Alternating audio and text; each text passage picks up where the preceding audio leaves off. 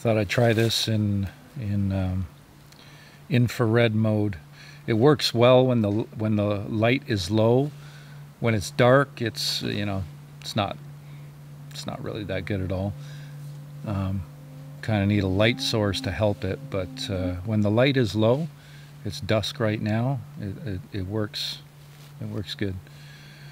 So I'm here at my my tent spot by myself tonight. It's August 26, 2023. It's uh, it's just after 8 p.m. I got my tent set up here, and uh, I've been here for a couple hours. Um, there's been one weird kind of thing happen so there, there's a few mosquitoes out still, but um, they're almost gone. They'll they'll disappear at some point, you know, soon because the temperature is going to drop, going down to about 10 tonight, uh, Celsius, whatever that is in Fahrenheit. I don't know. Sorry. But uh, I'm I'm here by myself, like I said. Um, so there's this uh, setting up the tent, and and I ha I had this uh, it's almost like a like a hummingbird wing fluttering sound, you know, that vibrational sound. If you if you've ever, ever had a hummingbird fly near your head, you know, it's almost like a giant bug sound, right? And um, I've recorded that several times over the years, both here and at Dwayne's. And I've had it happen right near my microphone in temperatures that, you know, it just, it doesn't make sense, right? It, it shouldn't be happening. Um, so, anyways, it happened uh, once while I was setting up the tent, and then it happened two more times within about 10 minutes.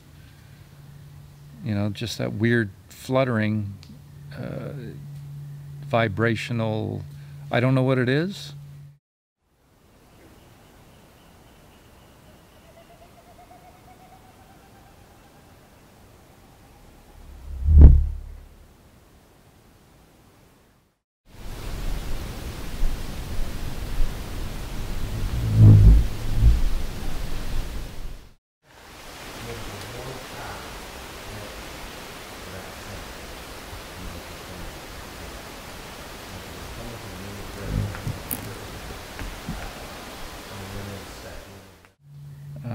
I tend to think it's related to them, but I don't I don't know for sure.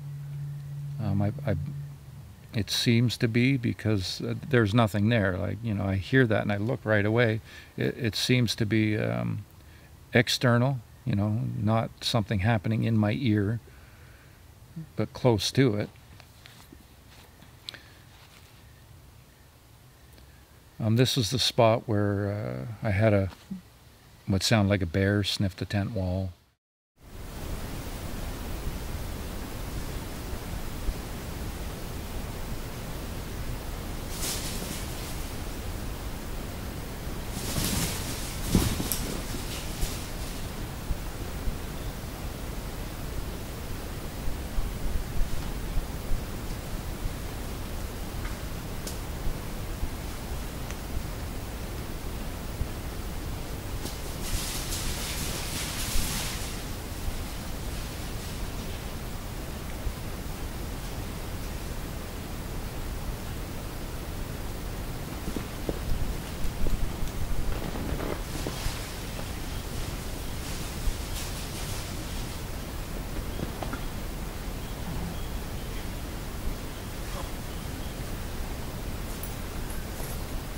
I think we got a bear out here. Um, I've had some really bizarre lucid dreams here. Um, one of them, I have this ridge behind me here. In one of them, um, I was in the in the dream. I was um, in the tent, and and they were I think looking over top of the the ridge. And I think they had some animals like canines with them, or it was it, it just some bizarre stuff. Um, this is also the spot where I was sleeping in my tent one night, and I got basically uh, something similar happened to Les Stroud. He told me about this, uh, where he felt he got sat on, you know, in his, in his sleeping bag, sleeping out in his sleeping bag one night. Not not here or anything, hasn't been here, but um, um, it happened to me. Same thing, and I was in my tent, and it was when I was using my blue tent here at this spot, and I got sat on. And I, I remember, uh, you know, I'm in this dream. And I'm struggling. I'm thinking there's a bear sitting on me in the in this dream. And I'm struggling. And, and I finally pulled out from underneath. And I and I woke up right away and but I realized, you know, there was some weird stuff going on there. Um, sadly, my, my audio recorder, the battery had ran out, so I didn't capture the, you know, the, the my actions um, this is where I've had the big tree pushed over.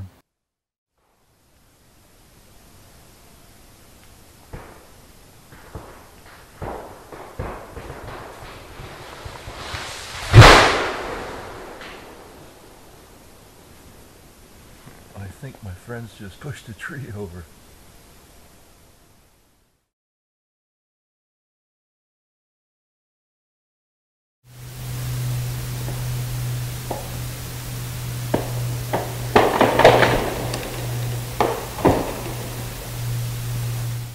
had another tree pushed over with my nephew here. Um, uh, had a, a walk past the tents in the morning with my nephew here and with another buddy of mine, John, here. Again, with uh, you know heavy footsteps walking past the tents. There's been very minimal for vocals here. Um, I think that morning, though, there was a, a, a small vocal from Nef.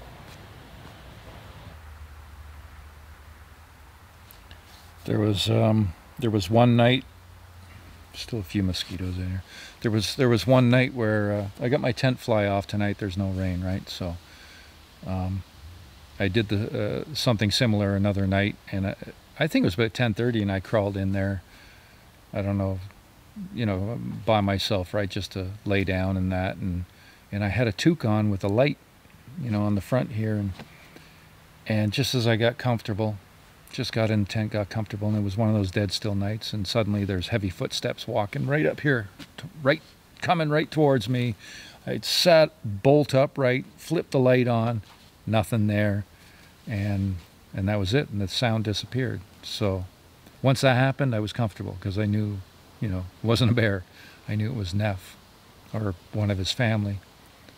And um, once I know that, I'm I'm comfortable. I'm fine with it, right? I don't have any fear. But uh, there's anything and everything here moose, bear. I have a an audio recorder, another one I just picked up. Um, it's about 30 paces from my tent down in the woods here. It's where I always basically put a recorder.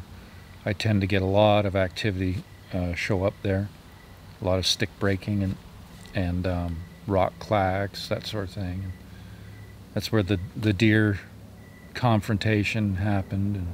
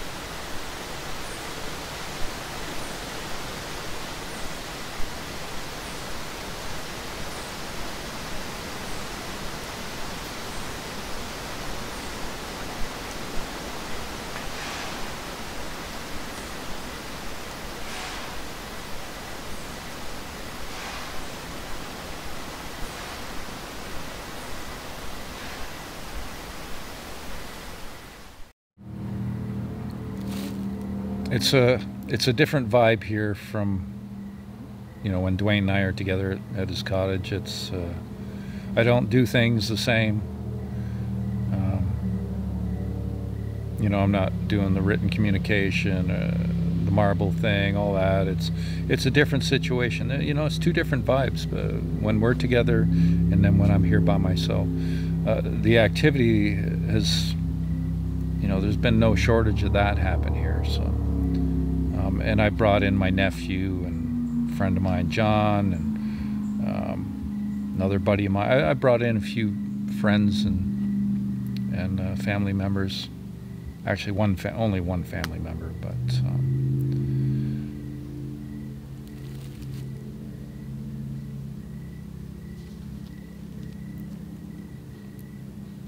it's uh, you know it's almost dark. I can see the, the screen on the, the video camera, so the the infrared on this thing works well, like really well in this light, you know.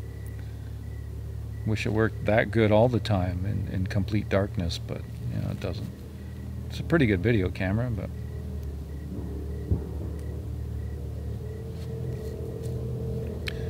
it's um, a boat boat sound in the distance there.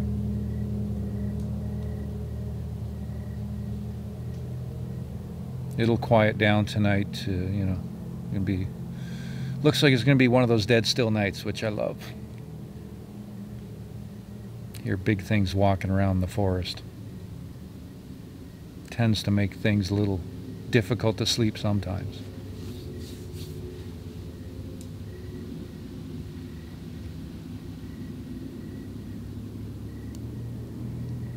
I even had a helicopter fly over here one night, so low, it was insanely low. Only once in all the years I've been here. It's not a flight path or anything, it's just, it was bizarre.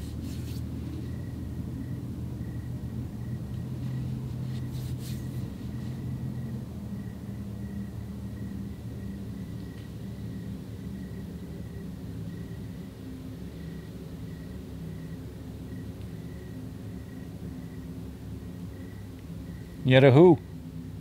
You hear my friends?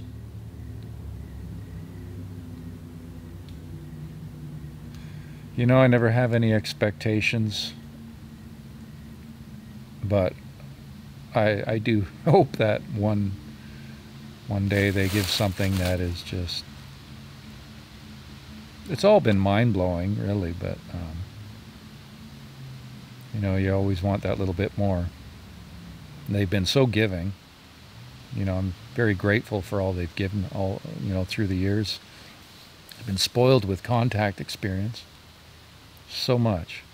Like I, I have no fear of them at this point. I'm very comfortable in their presence, and they can be, uh, you know, can freak a lot of people out. You know, if some if somebody's here and not. Uh, I had a friend uh, tell me they were camping the other week, him and his buddy, and there was a lot of wind going on, but they heard this big, huge branch crack and then um, footsteps running.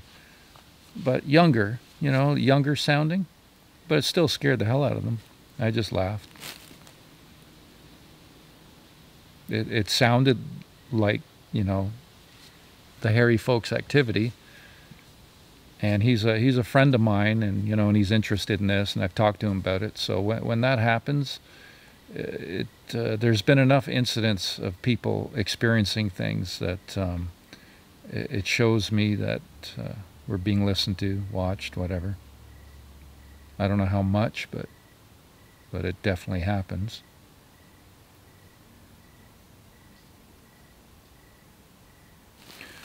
So I'm going to uh, take a little walk here.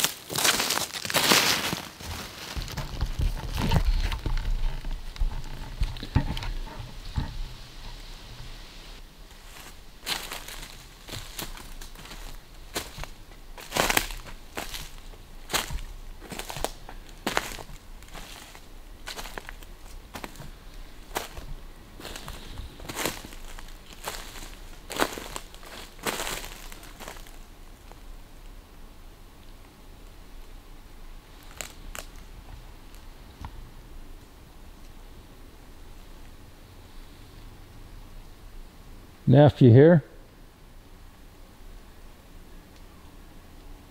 I'd love to hear Nef just yell out here. Vocals have been very minimal here, but you know, they have happened.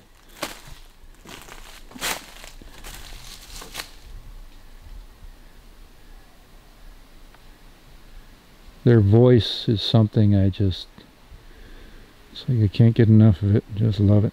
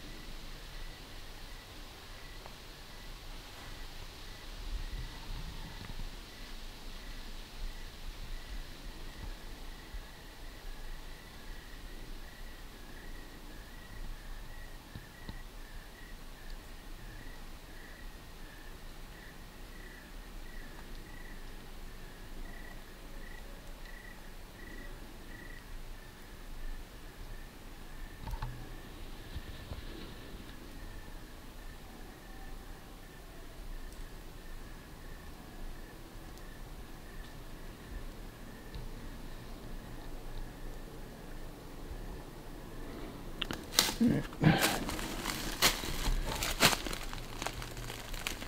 down, check the audio.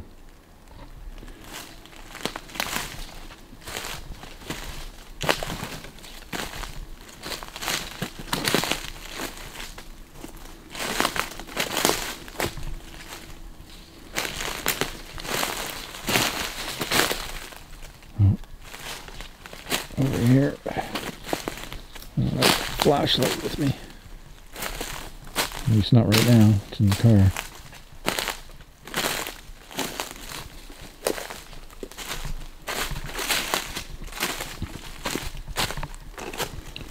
Yeah, got my recorder right here.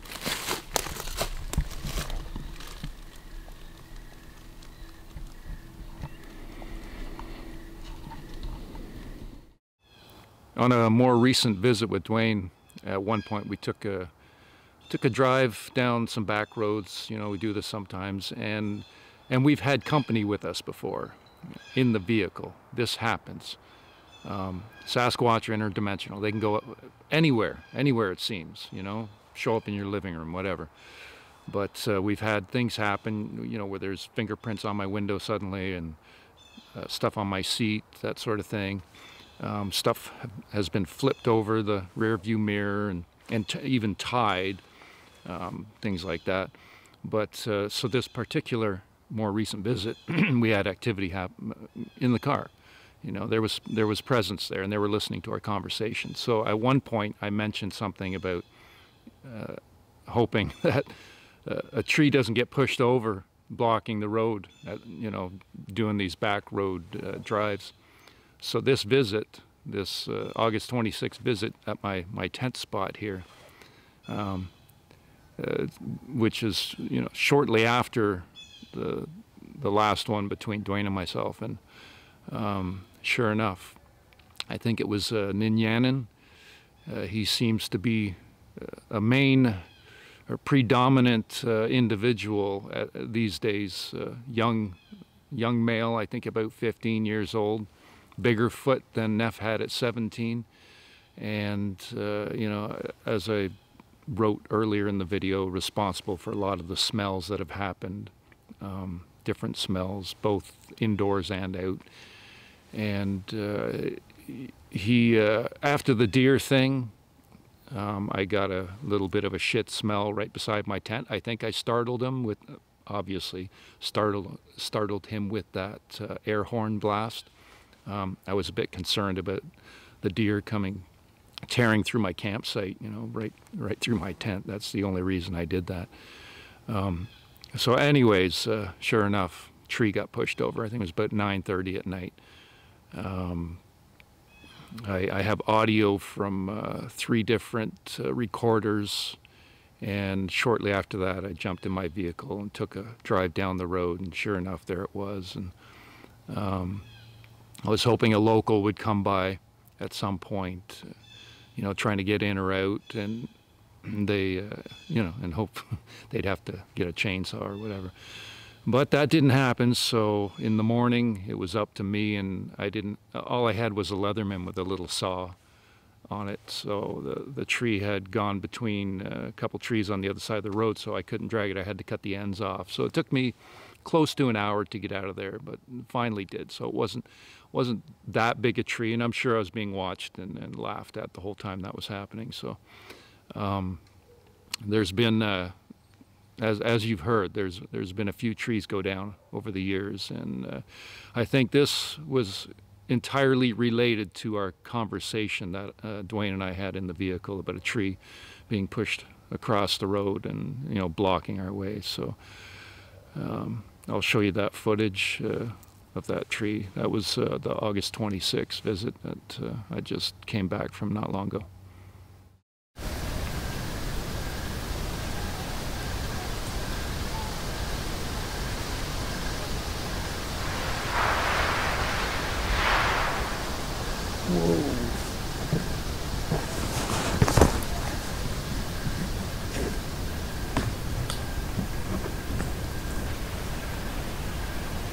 Nine thirty-seven p.m.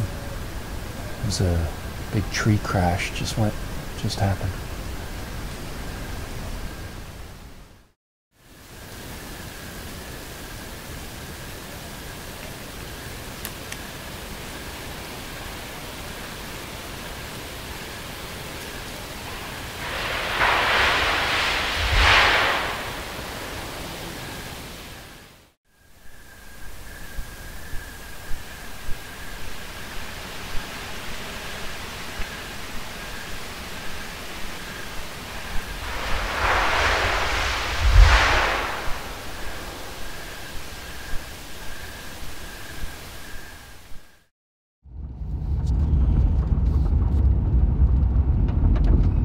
Bunch of city folk up cranking their tins, so I figure I'm going to take a little cruise up and down the, the road here. Maybe we'll see something. Bear, moose, what Nef family.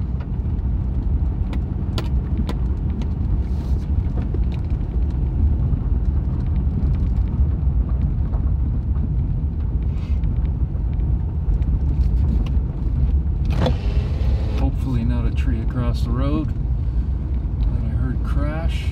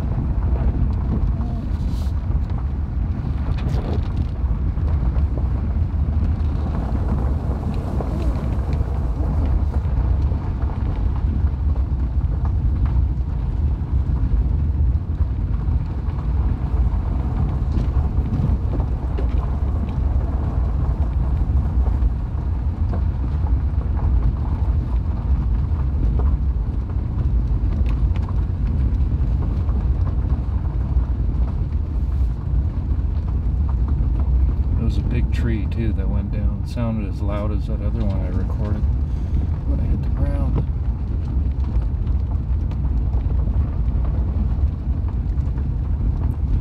Be cool to see a moose or a bear, even deer.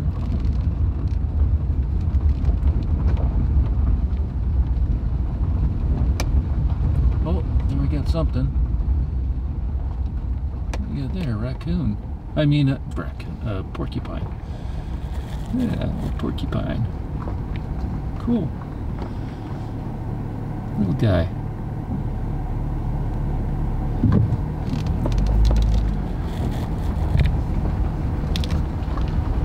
That's cool. Nice. Oh shit, the tree did go down across the road. Wow. That's the tree I heard. Holy shit. Oh no.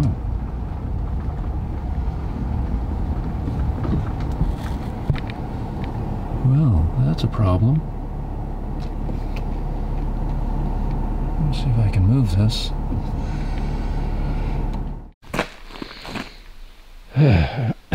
Should uh, do a commercial for Leatherman.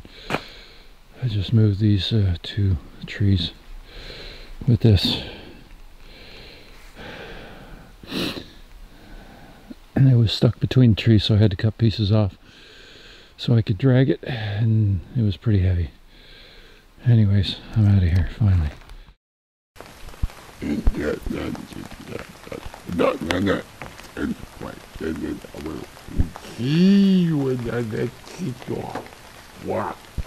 Wow. Ooh.